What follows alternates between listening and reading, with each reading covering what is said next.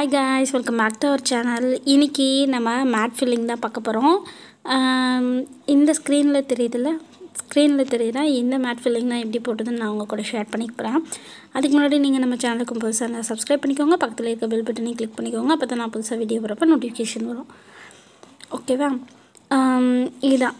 இது வந்து நான் நார்மல் நீடில் தான் யூஸ் பண்ணியிருக்கேன். ஆரி நீடில் யூஸ் பண்ணாமல் வெறும் நார்மல் நீடில் மட்டும் வச்சு எப்படி இந்த மேட் ஃபில்லிங் போடுறதுன்னு பார்க்கலாம். ஃபஸ்ட்டு நான் ஒரு மேங்கோ மோட்டிஃபில் போட்டு பார்த்தேன். அண்ட் அடுத்து ஒரு ஸ்கொயர் டைப்பில் போட்டு பார்க்கலாம் அப்படின்னு சொல்லிட்டு போட்டு காமிக்கலாம் அப்படின்னு சொல்லிட்டு ஸ்கொயர் டைப்பில் கொஞ்சம் நைனுக்கு இந்த சைடு ரோ வந்து நைனும் காலமும் நைன் அந்த மாதிரி வரைஞ்சிருக்கேன். ரொம்ப க்ளோஸ்டாக ஒரு கால் கால் இன்ச் விட்டு வந்து வரைஞ்சிருக்கேன். இப்போ வந்து ஃப்ரெஞ்ச் நாட்டுக்கு எடுக்கிற மாதிரி த்ரெட்டு நல்லா எடுத்துகிட்டு கொஞ்சம் ஒரு நான் நான் எத்தனை strands எடுத்திருந்தேன்னா eight into eight sixteen strands வரும் இப்போ இன்னும் கூட கொஞ்சம் அதிகமாகவே எடுத்துக்கலாம். எனக்கு இந்த அளவு போதுங்கிறதுக்காக நான் இந்த அளவுக்கு எடுத்திருக்கேன். இப்போ நான் போட்டிருக்க அளவுக்கு நீங்கள் ஸ்கொயர் போட்டிங்கன்னா நீங்கள் வந்துட்டு எயிட் எயிட் ஸ்டாண்ட்ஸ் எடுத்திருந்தா போதும். எயிட் இன்ட்டு இன்ட்டு சிக்ஸ்டீன் வரும்ல? இப்போ இந்த போட்டிருக்கேன்ல இப்போ ட்ரிபிள் கலர் வரணும் எனக்கு. அதுக்காக நான் என்ன பண்ணேன்னா ஒரு சைடு மட்டும் எனக்கு ட்ரிபிள் கலர் கொஞ்சம் பார்க்க நம்ம ப போட்டு முடிச்சதுக்கப்புறம் அது கொஞ்சம் வித்தியாசமாக தெரியும். ஒன்று விட்டு ஒன்று நான் போடுறேன். இப்போ ஒரு லைனில் க்ரீன் போட்டுட்டு ஒரு லைன் எம்டியாக விட்டுருக்கேன் பார்த்தீங்களா அடுத்து க்ரீன் போட்டிருக்கேன். அடுத்து இன்னொரு லைன் எம்டியாக விட்டுட்டு அடுத்ததில் க்ரீன் போடுறேன். இந்த மாதிரி வர்றப்ப கொஞ்சம் நல்லா எடுத்து விட்டிங்கன்னு வச்சுக்கோங்க. இந்த மாதிரி நல்லா இழுத்தீங்கன்னா அந்த த்ரெட்டு வந்து சரியாயிடும். அகெயின் அதே மாதிரி அந்த சைடு போடணும்.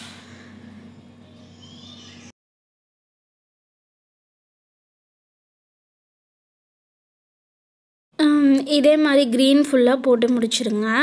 ஐ மீன் நீங்கள் எந்த த்ரெட் எடுக்கிறீங்களோ அந்த கலர் நான் க்ரீன் எடுத்துருக்கனால நான் க்ரீன் சொல்கிறேன் இன்னும் ஒரு லைன் வந்து நம்ம ஃப்ரீயாக விட்டுருக்கோம்ல அந்த இடத்துக்கு வந்து நான் வந்து மெரூன் யூஸ் பண்ணுறேன் அதுவும் சேம் அதே மாதிரி தான். எயிட் ப்ளஸ் எயிட் வந்துட்டு சிக்ஸ்டீன் ஸ்ட்ராண்ட்ஸ் எடுத்திருக்கேன். ஓகேவா இப்போ நான் வந்துட்டு இ- இது வந்து கலர் மாறி மாறி தெரியுது.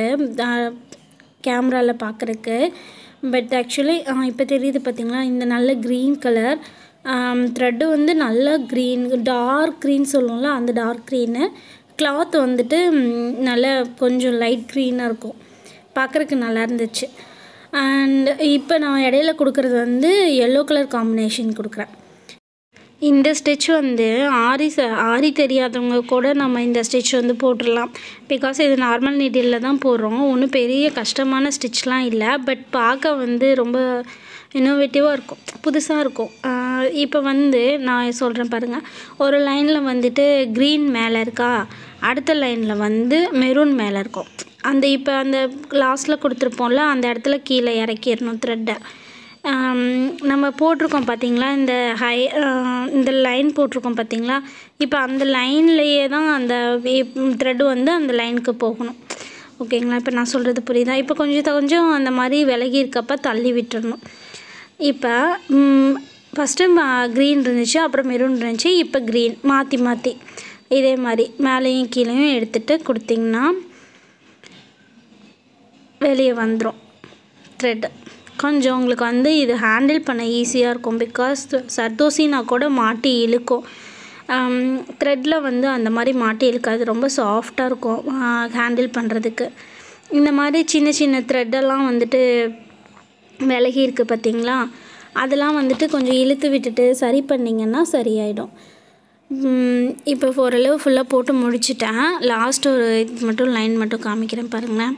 இப்போ வந்து க்ரீன் கீழே இருக்குது இப்போ வந்து அடுத்த ஃப- முன்னாடி லைனில் வந்து க்ரீன் கீழே இருக்கா? இப்போ நம்ம போடுற லைனில் வந்துட்டு க்ரீன் மேலே இருக்கணும்.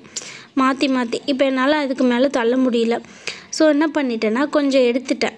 நீடில் வந்து எனக்கு ரொம்ப சின்னதாக தான் இருக்குது ஸோ கொஞ்சம் வெளியே எடுத்துட்டு ஒரு லைன் மட்டும் விட்டுட்டேன். எடுத்துட்டு திருப்பி அந்த ஒரு லைனுக்குள்ளே உள்ளே போட்டுக்கலாம்.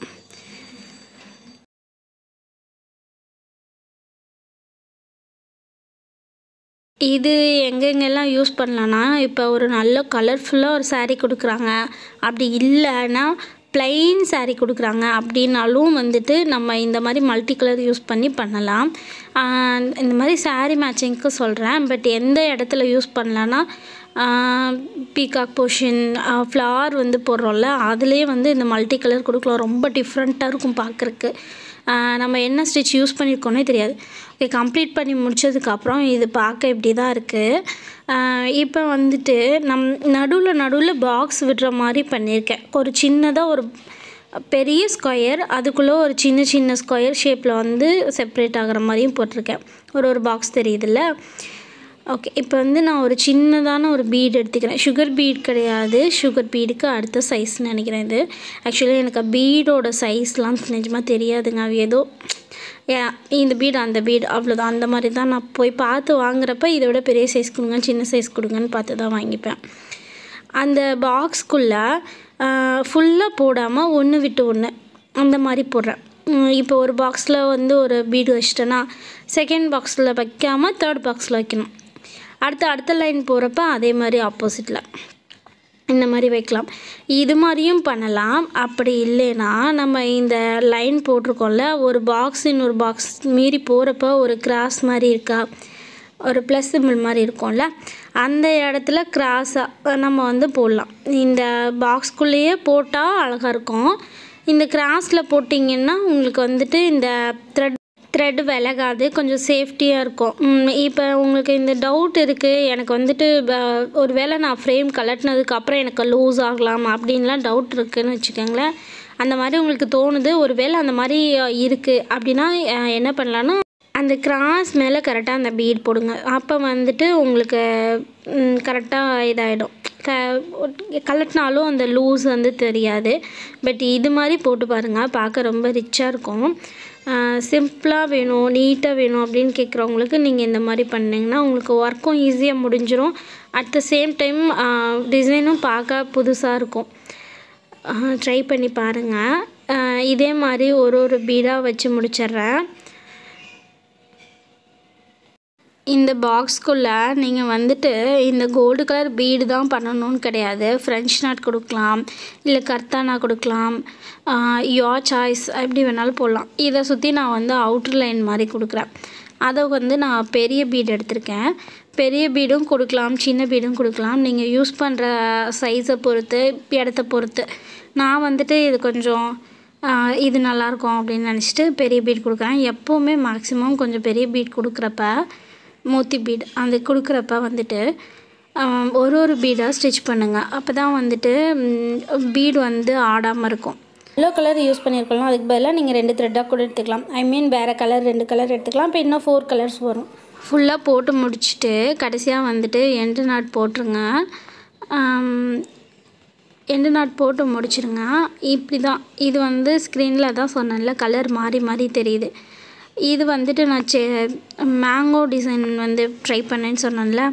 இது பாருங்களேன் சேம் ஏதோ அதே மாதிரி தான். ஆனால் அதில் ட்ரிபிள் கலர் யூஸ் பண்ணேன். இதில் வந்து டபுள் கலர் யூஸ் பண்ணியிருக்கேன். ரொம்ப நெருக்க நெருக்கமாக வேறு யூஸ் பண்ணியிருக்கேன். இப்போ ஒரு லைன் வந்து க்ரீனில் போட்டிருக்கேன்னா அடுத்து எல்லோ லைன் இதில் போட்டோம்ல அதே மாதிரி தான். பட் ரொம்ப நெருக்கமாக போட்டு க்ரீன் ஒரு லைனு ஸ்ட்ரைட்டாக போடுறதுக்கு க்ரீன் வெர்டிக்கலுக்கு க்ரீனும் ஹரிசண்டலாக போடுறதுக்கு எல்லோவும் யூஸ் பண்ணியிருக்கேன். இந்த இடத்துல கொஞ்சம் த்ரெட்டு தூக்கிட்டு இருக்கு பாருங்களேன். இது மாதிரிலாம் வராமல் கரெக்டாக பண்ணுங்கள் இந்த மேங்கோ மோட்டிவ்ஸும் பார்க்க அழகாக இருந்துச்சு. இது வந்து ஸ்கொயர் டைப்பில் பண்ணி பார்த்தோம்ல. இதுதான். பார்க்க நல்லா இருந்துச்சு. இது பிடிச்சிருந்ததுதானே மறக்காமல் கமெண்ட் செக்ஷனில் சொல்லுங்கள்